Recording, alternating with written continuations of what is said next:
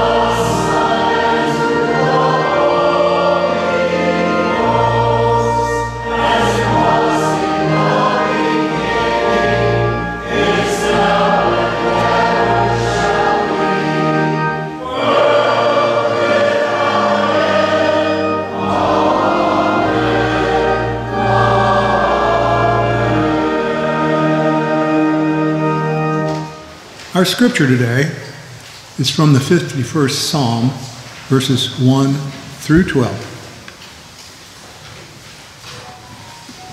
Have mercy on me, O God, according to your unfailing love, according to your great compassion, blot out my transgressions. Wash away all my iniquity and cleanse me from my sin. For I know my transgressions and my sin is always before me. Against you, you only have I sinned and done what is evil in your sight, so you are right in your verdict and justified when you judge. Surely I was sinful at birth, sinful from the time my mother conceived me. Yet you desired faithfulness, even in the womb you taught me wisdom in that secret place. Cleanse me with hyssop, and I will be clean. Wash me, and I will be whiter than snow. Let me hear joy and gladness. Let the bones you have crushed rejoice. Hide your face from my sins and blot out all my iniquity. Create in me a pure heart, O God, and renew a steadfast spirit within me. Do not cast me from your presence or take your Holy Spirit from me. Restore to me the joy of your salvation and grant me a willing spirit to sustain me. This is the word of God for us, the people of God. Thanks be to God.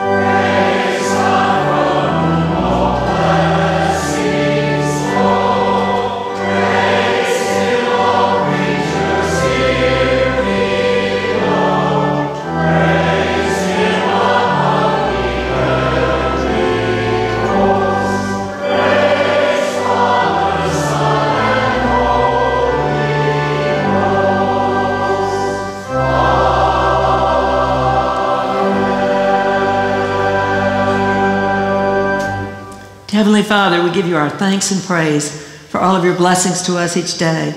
Lord, we give you these gifts to be used in bringing others to know you through your Son, Jesus Christ. Amen. I'm going to make an announcement to you now, and I'm going to try to remember to announce it again later on in the service. But I want to correct the hymn number that's the last hymn, not the next one we'll sing after the sermon, but last hymn in the service. Number 663 is the correct number for that hymn title. I'm going to try to remember, remember to announce that again later, but in case I don't, You've heard about it now, okay? So help me out here and see if you can remember that, and I'm going to try to do the same. Kind of feels like some normalcy is returning, doesn't it? With the children coming up front for the children's moment and passing the plates through the pews again, and the nurture committee offering the food out there between the services in the Welcome Center. Doesn't it feel like normal? sort of creeping back in. Kind of feels good. I like that. I'm excited about that.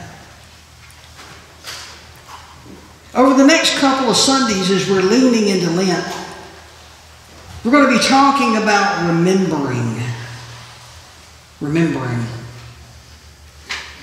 Remembering can be a wonderful thing. This past couple of days, I had opportunity to spend time in the house where I grew up. Memories somehow in the houses where we grow up just get in the walls. They're just there. And anytime we go in there, here they come again. Particularly if we have a quiet moment, we can't escape them. They're just everywhere. I have some wonderful memories that are in those walls. Memories of times with family, Christmases, birthdays shared there. Remembering my friends coming over to hang out, Clint and Sammy and Doug and, and, and Bruce. Just wonderful, wonderful times we had there. But you have those memories too, don't you? But there are also memories that I have of my growing up years that are not so good, that are painful. Sometimes pain of my own creation, of bad decisions that I made. We were camping one time in the woods back behind the house where I grew up. There used to be miles of woods back there, not so much anymore, but back in the day, there were just woods that went on forever. We were camping back there, and another set of our friends was camping not horribly far away. Same night, we just both wound up in different camping areas out in the same patch of woods.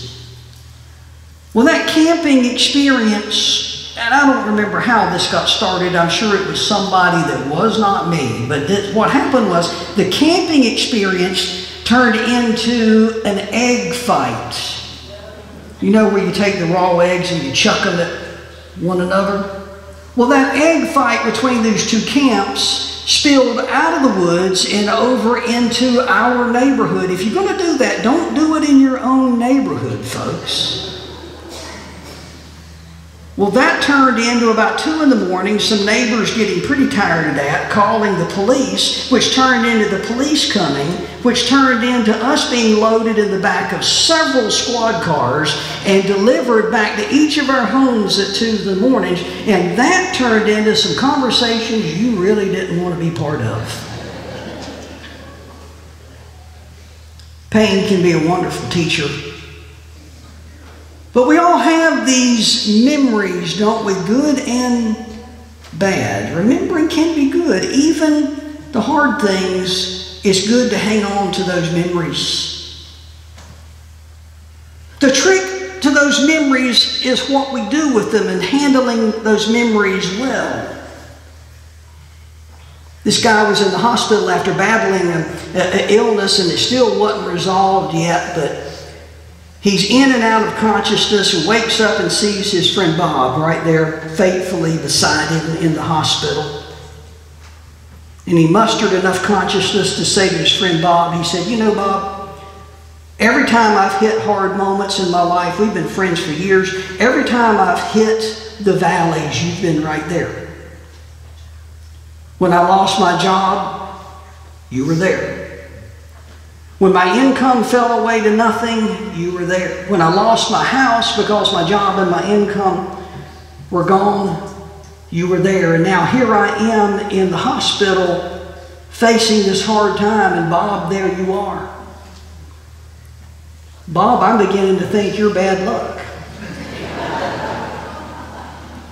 what we do with our memories is key. How do we handle the memories, even the bad stuff? Here's what I think we Christian types do with our memories, particularly the hard ones. We easily look at the great times where the lines are falling to us in pleasant places. We look at those as God's blessing. Man, God is with us. Everything is good. But when things turn hard and we have those memories, particularly when they're hard times due to our folly, then we often wonder where God is we mistakenly think because we look back on those memories and they're painful for us that that must be a sign of God's disfavor, that God clearly has not forgiven us for those things yet, or else I wouldn't look back on them and feel this pain. Or better yet, if I could just find the delete button in my memory to make those memories go away. If God has really forgiven me, shouldn't I be able to forget those things? God has forgotten them, that's what they always tell me, so why can't I? If I can't forget them, doesn't it then stand to reason that God hasn't either?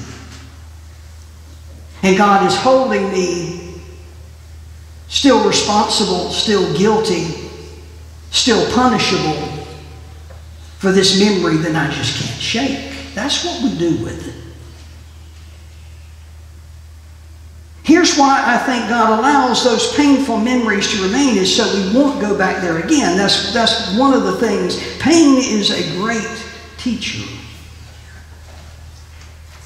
God allows the pain of the memories to remain, even though He has long forgiven us for those things, so that we won't go there again, so that we will stay in stronger places where there is less harm and more joy and more life for us. That's why God allows those memories to remain. The pain of it, don't,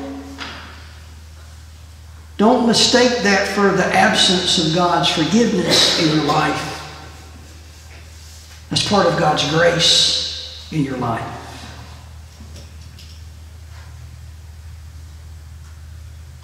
Those of you who keep up with basketball know that Duke's basketball coach, Mike Krzyzewski, is retiring after 42 years. Did pretty good during his years at Duke. They played Carolina in Cameron for Coach K's last regular season game. And last game in Cameron against Carolina yesterday, I am so glad that Duke won that ball game. Allow me my illusion, folks. Just work with me here, okay? The story is told of Coach K during his early years at Duke. Uh, his first year at Duke and my first year at Duke were one and the same. He probably wouldn't remember that if you asked him, but Yet that is true. Had some pretty lean years in his early years there, Duke.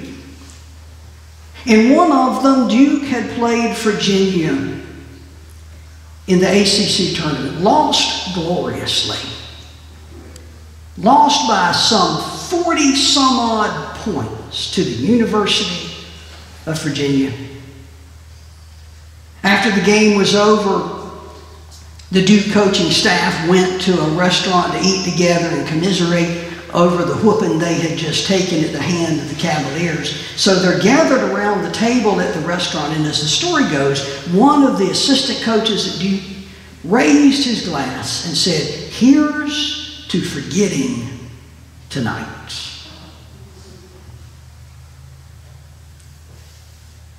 Coach K offered a rebuttal he raised his glass and said, Oh no.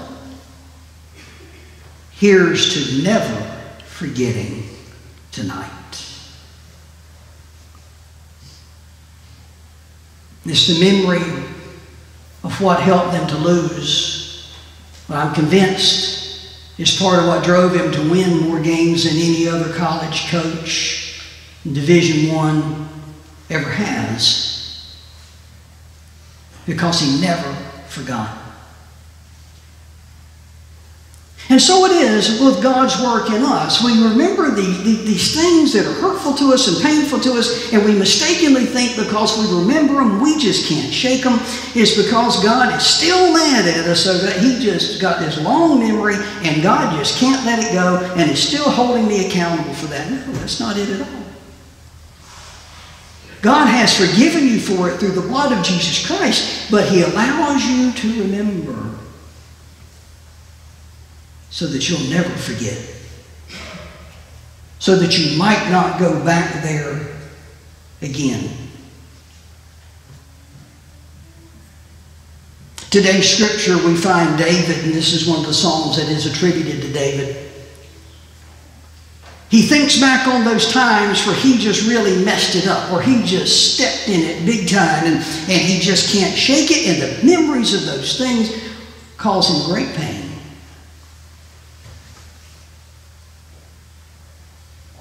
He said, My sin is ever before me. No matter which direction I look, I can't get it out of my mind. There it is. I, it's over here, and I look over there, and, and, it just jumps in front of my sight over here as well. My sin is always in front of me. Is he thinking about his misdeeds with Bathsheba? Maybe, I don't know. Is he remembering some of the missteps he took as a father? And he goes, you know, his relationships with his sons just wasn't that great. Was it that? I don't know. Clearly, it was something. My sin is ever before me. I can't not remember it. I can't unsee it. So then he makes a request of God. You do the cleaning of me, Lord. I can't fix this.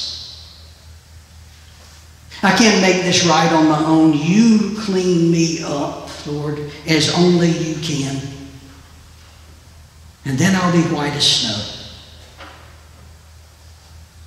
But in the meantime, Lord, don't take your Holy Spirit from me.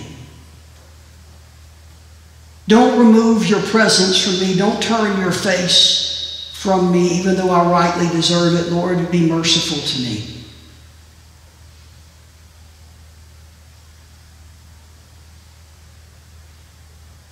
Here's what this does for us. That, that, that should be our heart as well. That's one of the reasons that, that God allows these memories to remain. Is the same in us as it was in David. David knew the only way he could get past this stuff was through the mercy of God through the forgiveness of God. That should be the posture of our heart as well when the memories pain us of our misdeeds, where we haven't been all we should have been by now. Lord, forgive me. It keeps us tied to the cross. Handling our memories of our painful stuff well can not only help us not go back there again, it can keep us tied to the cross. Here's the thing you hear this on the radio and television, you don't look, have to look far in the Christian church to hear this being touted that somehow Jesus gets us started in our walk towards God. But after we've been to the cross, after we've been saved, then we, it's kind of up to us to keep our salvation then. We got to live right and do it right. We're supposed to have zero defects after we've been to the cross. Well, that's just not the scriptural witness at all. Yes, we do the best we can, but folks, we are always sinners in need of forgiving even after we've been saved, even after we've been to the cross. We are sinners in need of God's forgiveness, no less after than before. We are perpetually in need of the forgiveness of God. God gives us the gift of seeing where we have messed it up and it being painful to us to keep us tied towards His mercy so that now and again we come back around. And we offer the prayer, Lord, my sin, I see it.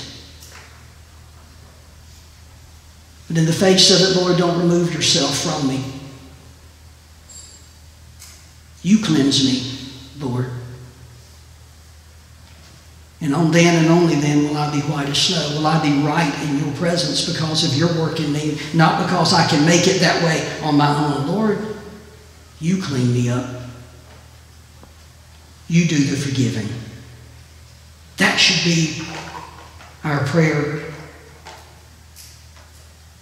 Seeing that we're not we should be by now keeps us running back to the cross. Here's the thing.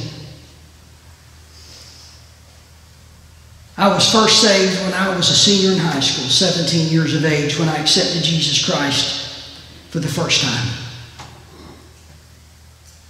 I'm going to tell you a secret. You haven't figured this out after these six and a half years I've been with you, but I'm going to tell you. Don't tell anybody else. This is just between us, okay? But I'm still a sinner. You're shocked, I know. But I'm still a sinner in need of God's saving through Jesus. I need God's salvation as much right now as I stand before you in this moment as I did 15 minutes before I was saved for the first time. It's those moments when I remember, when it comes back round again, that I see that I'm not all I should be, that I need, that drives me back to the cross when I handle my memories well. Back to where the forgiveness is. That should be the posture of our hearts. That's the gift of remembering that God allows us to have, even in the memories of our hardest things, of the things that pain us most. We're going to be talking about remembering over the next couple of Sundays. But for that, now that's enough to get us started. But for this moment, all of God's people who remember, and who in that remembering, even though it may be hard, are reminded of their need for the forgiveness God offers through Jesus Christ, said amen.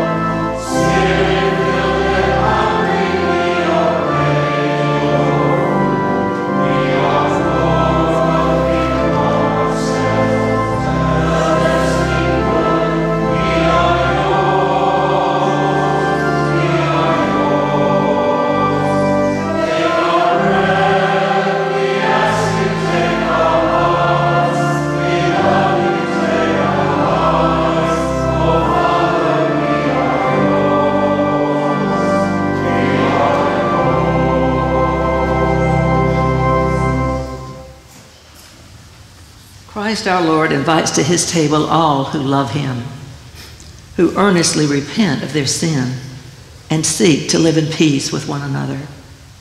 Therefore, let us confess our sin before God and one another. Merciful God, we confess that we have not loved you with our whole heart. We have failed to be an obedient church. We have not done your will. We have broken your law. We have rebelled against your law. We have not loved our neighbors, and we have not heard the cry of the needy. Forgive us, we pray. Free us for joyful obedience through Jesus Christ our Lord. Amen. Hear the good news.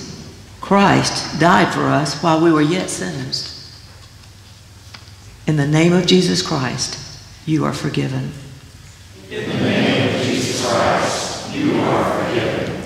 Glory to God. Amen. Amen. The Lord be with you. And also with you. Lift up your hearts. Up. Let us give thanks to the Lord our God. On the night in which he gave himself up for us, he took bread gave thanks to God, broke the bread, gave it to his disciples, and said, Take, eat. This is my body, which is given for you. Do this in remembrance of me. When the supper was over, he took the cup, gave thanks to God, gave it to his disciples, and said, Drink from this, all of you. This is my blood of the new covenant, poured out for you and for many for the forgiveness of sins. Do this as often as you drink it in remembrance of me. And so, in remembrance of these your mighty acts in Jesus Christ, Lord, we offer ourselves in praise and thanksgiving as a holy and living sacrifice in union with Christ's offering for us as we proclaim the mystery of faith. Christ has died. Christ is risen. Christ will come again. Pour out your Holy Spirit on us gathered here and on these gifts of bread and wine. Make them be for us the body and blood of Christ, that we may be for the world the body of Christ, redeemed by his blood.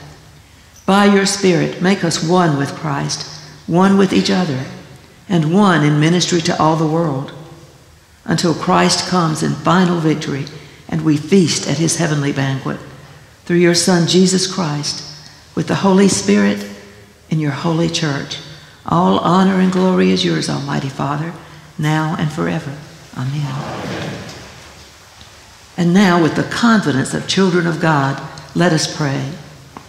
Our Father, who art in heaven, hallowed be thy name.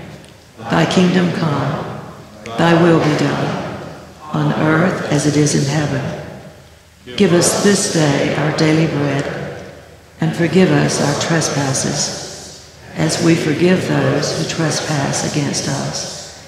And lead us not into temptation, but deliver us from evil. For thine is the kingdom, and the power, and the glory, forever. Amen.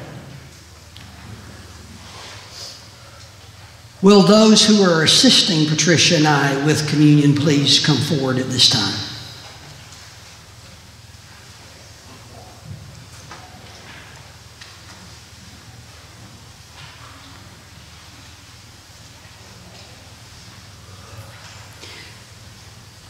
Because there is one loaf, we who are many are one body. For we all partake of the one loaf. The bread which we break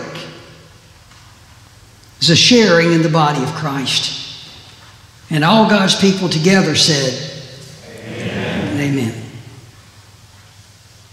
The cup over which we give thanks is a sharing in the blood of Christ.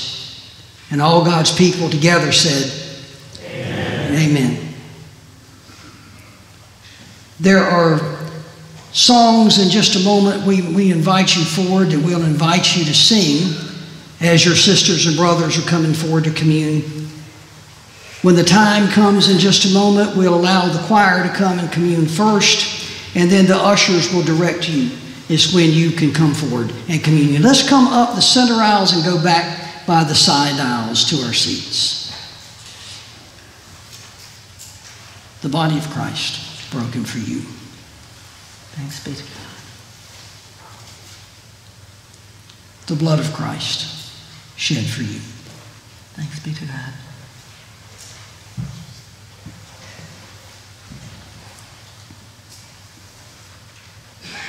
Tell the body of Christ broken for you.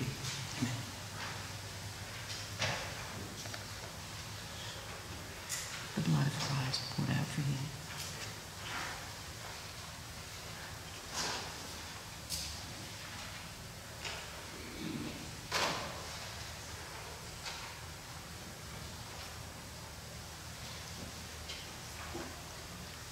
We'll let the choir commune first, and then the ushers will direct you as to when you may come.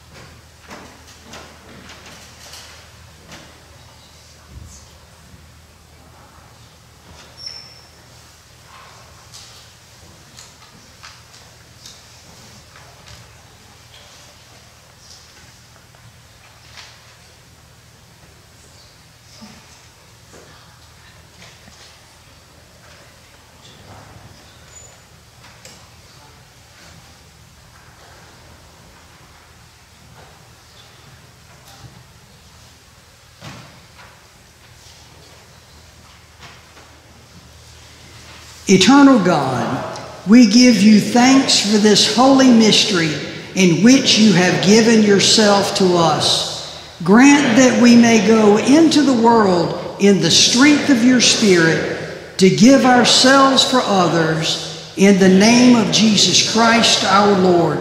Amen. The hymn number we're going to sing is number 663, one verse only of Savior again to thy name. Let's stand as we sing.